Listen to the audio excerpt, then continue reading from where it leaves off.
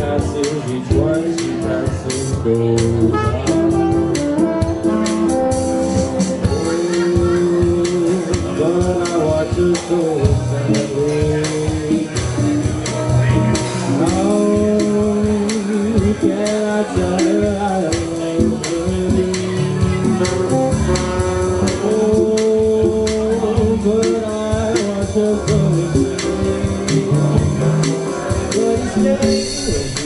to the sea or to